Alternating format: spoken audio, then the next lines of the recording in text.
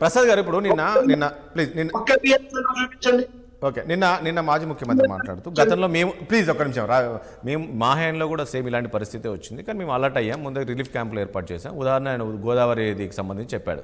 దాదాపు నలభై వేల వరకు కుటుంబాలు ఉంటే నేను ముప్పై ఎనిమిది వేలకు రిలీఫ్ క్యాంపులు ఏర్పాటు ఇక్కడ వీళ్ళు చేయలేకపోయారు అంటున్నారు. నిజంగా పరిస్థితి ఉందో? చేయలేకనే ఈ ఈ డ్యామేజ్ అయిందంటారు అక్కడ? సార్ మీకు ఎవరు అక్కర్లేదు సార్. మన దగ్గర గణాంకాలు ప్రభుత్వం ఇచ్చిన గణాంకాలతోనే మనం ఎవరైనా విశ్లేషించగలం మాట్లాడగలం. వాళ్ళు పెట్టిన ఆరు రీహాబ్ సెంటర్స్ మోర్ ఓవర్ ఇవాళ నీకు ఫస్ట్ ఒక చేతావని కనుక వాళ్ళకి అలర్ట్ ఇచ్చి ఇవాక్యువేట్ చేసి ఉంటే ఇవాళ ఈ- నీళ్ళు వస్తాయి సార్. ఇందాక రఫీ గారు చెప్పిందంతా నేకేబ్యూస్తో ఒక తీవ్ర ఉపద్రవం ఒక యాభై ఏళ్ళు వంద సంవత్సరాల్లో రాని వాటర్ వచ్చినప్పుడు ప్రభుత్వ తరఫున ఇన్స్టెంట్ రియాక్టివ్ మోడ్లో చేసిన ప్రికాషనరీ ఫ్రంట్ ఏదన్నదే ప్రశ్న. ఎప్పుడైతే ప్రికాషన్స్ తీసుకోని ప్రభుత్వం మీదే ఆక్షేపణలు ఎదురవుతాయి.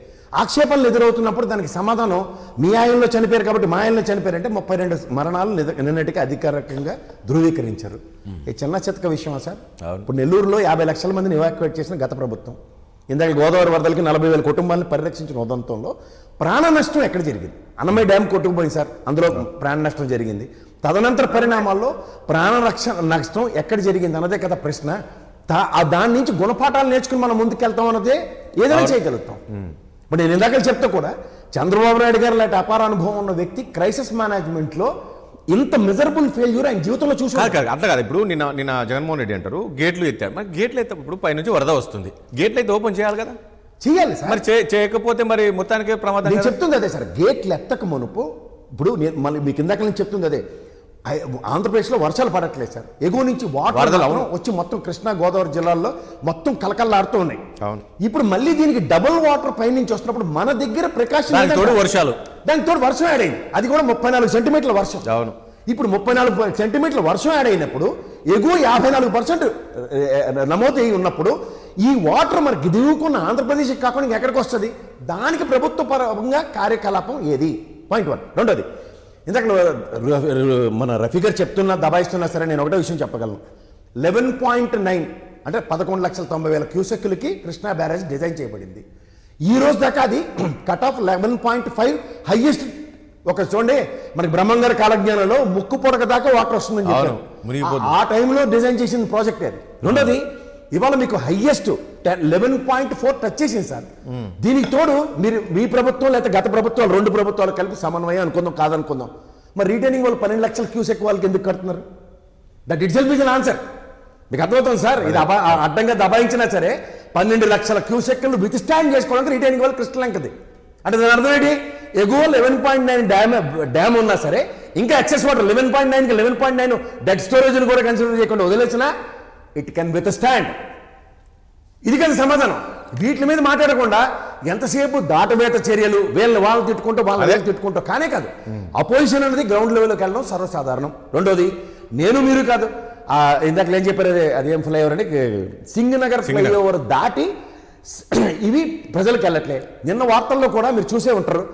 ఎక్సెస్ ఫుడ్ అంతా అక్కడే పడేసినట్టు. పడేసి ఉన్న ఉదంతం.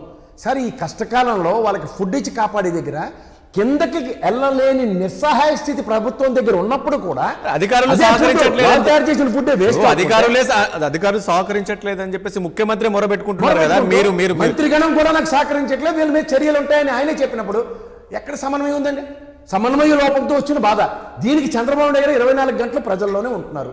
పాపం ఆయన కలెక్టర్ ఆఫీసులో అధికారులు సరిగ్గా స్పందించుంటే ఆయన వచ్చేవాడే కాదు కదా? లేడు కదా. ఇప్పుడు ఆయన పరిగెట్టుకుని పొక్లైన్ రెక్కో లేదంటే బోట్ వేసుకున్న ప్రజల్లోకి వెళ్తున్నాడు. దానికి తగ్గట్టు ప్యారల యాక్షన్ ఏది? నేను నారాయణ గారు వంట నుంచి తీసుకొచ్చారని చెప్తున్నారు శబాష్ కానీ వంట వండిని తీర్చి ప్రజలకు అందాలి కదా. ఆ, దీనికి ఏమవుతుందంటే డెలిగేషన్ ఆఫ్ వర్క్ ఉండి కూడా డెలిగేషన్ పనిచేయని నిస్సహాయ స్థితి కనబడుతున్నప్పుడు దాని మీద యాక్షన్ ఫ్రంట్ చాలా ఇంపార్టెంట్ ఇరిగేషన్. తుంగభద్ర గేట్ దగ్గర నుంచి చూడండి. రాజేష్ గారు తుంగభద్ర గేటు ఎవరు గిరీజ్ రైతు అని చెప్పారా? దాన్ని ఎత్తి కొదేసేస్తుంటే కూర్చొని దున్నపోతలకు పొలుతవుతున్నారు వాళ్ళు కూర్చొని ఇరిగేషన్ శాఖ. ప్రైమరీ మెయింటెనెన్స్ ఇవ్వనని ఏ ప్రభుత్వం చెప్తుందా? దీనికి ఎక్కడంటే సార్ ఒకటి వీళ్ళకి ప్రాథమిక అంచనాలు లేవు. ప్రాథమిక అంచనాలని నిమ్మకు నీరెత్తినట్టు కూర్చొని మీరు అన్నట్లు ముఖ్యమంత్రి ఉన్న ఇప్పుడు ఆయన చాలా సీనియర్ నాయకుడు ముఖ్యమంత్రిగా చేశాడు అనుభవజ్ఞుడు. అసలు ఎందుకు ఈ స్థాయికి వచ్చిందంటే ఇది అధికారుల ఫెయిల్? అధికారులు ప్లస్ ఆయనకి సమన్వయపరచుకుంటూ ఉదాహరణకి ఉప ముఖ్యమంత్రి గారు ఉన్నారు సార్ ఆయన. నేను ఏం చెప్తానంటే నేను వస్తే ఇదేమైనా సినిమా షూటింగా ఆయన నిజంగా గ్రౌండ్లోకి వెళ్ళి నిస్సహాయంగా ఉన్న ప్రజలకి ప్రేరణ క్రియేట్ చేసి రెండు మీరందరూ రియాక్ట్ సెంటర్కి రెండు నేను తరలించుకుని తీసుకురావాలి వెనకాల ఫాలోయింగ్ వచ్చిన వాళ్ళని. వచ్చి నేను సంధానపరుస్తాను మనోధైర్యం కోల్పోతుందని చెప్పడం మానేసి నేను వస్తే అందరూ డిస్టర్బ్ అవుతారట. ముఖ్యమంత్రి గారు వెళ్తేనే డిస్టర్బ్ కావట్లేదు సార్. ముఖ్యమంత్రి గారు గ్రౌండ్లో ఉంటారు ముఖ్యమంత్రి వేరు, ఇక్కడ. మిగిలిన మంత్రులకి నాకేంటి అర్థం కావట్లే? కాదండి ముఖ్యమంత్రి వేరు ఇక్కడ పవన్ కళ్యాణ్ ఫ్యాన్ ఫాలోయింగ్ ఉంటుంది సినిమా హీరో అని చెప్పి చెప్పుకుంటున్నారు కదా వాళ్ళ ఫ్యాన్ ఫాలోయింగ్ అవన్నీ ఎవరికి కావాలి సార్? ఒక మనిషి చచ్చిపోతుంటే ఆటోగ్రాఫ్ కోసం వాడు వస్తాడా సార్? వాళ్ళు మాట్లాడేదానికి ఏమైనా సమన్వయ లోపమా? సమన్వయం ఉందో లేదో ఒకసారి చూసుకోమనండి. ఇవాళ ముఖ్యమంత్రి గారి గ్రౌండ్లో ఉన్నారు కదా. మిగిలిన వాళ్ళకి ఏంటి సార్? నాకు అర్థం కాదు. కరెక్ట్. నిన్న వెళ్తారట. నిన్న నిమ్మల రామారాయుడు గారు వెళ్తే లోకేష్ గారు దేవనేని ఉమా గారు వెనకాల ఫాలో అయితే వెళ్తూ ఉంటారు. నాకు తెలియక అడుగుతాను ఇరిగేషన్ శాఖలో ఎంతమంది ఉండి కూడా ఆ నాయుడు గారే కావాల్సి వస్తుంది వీళ్ళకి. అంటే వీళ్ళకి ఎవరికి శాఖ కదని ఒప్పుకున్నట్టే కదా. ఒక ఇందాక రఫీ గారు బాగా చెప్పారు. బోట్ అడ్డు పెట్టాడ? ఆ అద్దె కొంప లింగంలో ఇల్లు ముంచితేడు చస్తేనట్టండి ఎవరు కూడా ఉపయోగం కదా ఏదో ప్రభుత్వం నిర్మించిన క్వార్టర్స్ ఆ? మూలికల రాజు గారి ఇల్లు అంతా మూలికి చస్తే అక్కడ ఉన్న పేషెంట్లు అందరినీ ఎత్తి అవతలు ఇస్తారు ఎవరండి వీళ్ళందరూ? నాకు అర్థం కాదు. ఆక్రమణకు గురి అని చెప్తుంటే ఈ ఆక్రమణలో ఉన్నదానికి కూడా ముఖ్యమంత్రి గారికే ఇబ్బంది వచ్చి ఆయన కలెక్టర్ ఆఫీస్లో ఉంటుంటే ఆయన మూలిపోయిందా లేదా అన్నదో దిక్కుమాల ప్రశ్న నాకు అర్థం కాదు. ఫస్ట్ ఫ్లోర్ దాకా వాటర్ వచ్చింది. ఎవరు? చంద్రబాబు నాయుడు. ఆయన ఇబ్బంది పడ్డారు సార్. లేకపోతే కలెక్టర్ ఆఫీస్లో ఆయన ఎందుకు ఉంటారు మనిషి అంత మనిషి. రాత్రి ఆ రోజంతా పర్యవేక్షణలోనూ ఇవాళ ఎవడనో వీళ్ళు ఫోటో తీయండి. ఎంతమంది మీరు జర్నలిస్టులు కదా. ఇంతమంది తీసి మార్గాల్లో సాక్షి లేటాడే తీయలేకపోతుండే ఫోటో. ఎందుకు తీయలేకపోతున్నారు? నిర్బంధం. నిర్బంధిస్తున్నారు. ఇవన్నీ చ- గమనిస్తూ కూడా ఆయన ఇల్లు మునిగిపోవడం అంత క్రైసిస్ ఇక్కడ. దీనికన్నా ఇటుపక్క ఎంతమంది ఇబ్బందులు పడుతున్నారు? ఇవి మాట్లాడమనండి సార్ ఇవి మాట్లాడమనండి. ఆయనకే ఇబ్బంది వచ్చింది కాదంటలేదు. మనిషి అంత మనిషి ఆయన వెళ్ళి కలెక్టర్ ఆఫీస్లో తలదాచుకుంటున్నారు.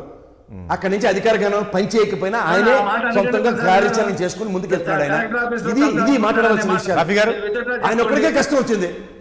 నూట నాలుగు మంది గెలిచినా సరే నిమ్మకు నేను ఎత్తున కూర్చొని ఉన్నారు. అదే ఆయన అరణ్యరోధం చెప్పుకుంటాడు ఆయన మనిషి. ఆయన ప్రెస్ మీట్లు వినండి సార్.